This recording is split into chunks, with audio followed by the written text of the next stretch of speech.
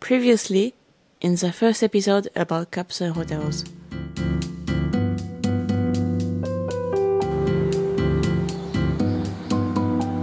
Nine Hours is a chain of capsule hotels with clean and futuristic design. I booked for one night, but they also have rates for taking a shower or have a quick nap.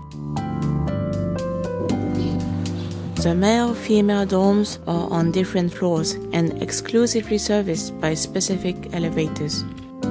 At registration, we receive a card with a QR code on the back. We got to our floor. The capsules are superimposed perpendicularly, a bit like a game of Jenga.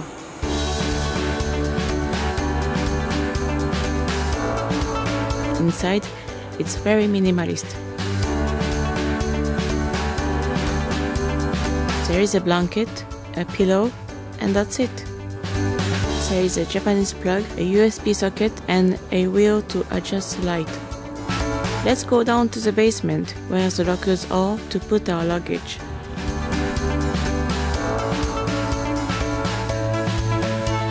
The high-tech lockers opens with a QR code on the card I showed you.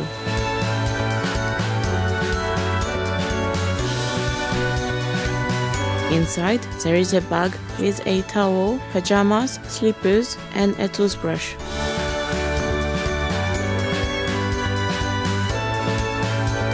Now that we have all we need, let's go to the shower.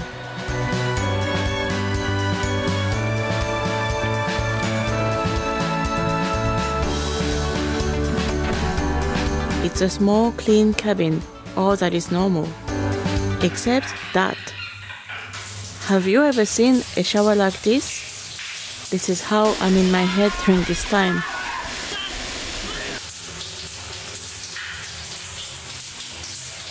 Back to the cabins, where it's dark now.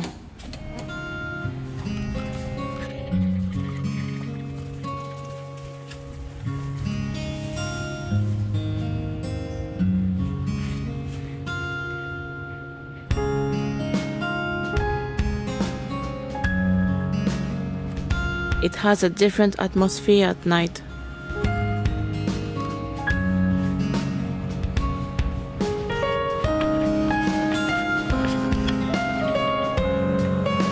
We conclude I liked the futuristic and simple design. It's kind of what you look for when you stay in a capsule hotel. The herbal scent of bath products smell really good. I liked less that we need to go down to the basement every time you want to get something from the luggage. It would have been convenient to have a vending machine as I stayed on a typhoon day and many shops were closed or empty.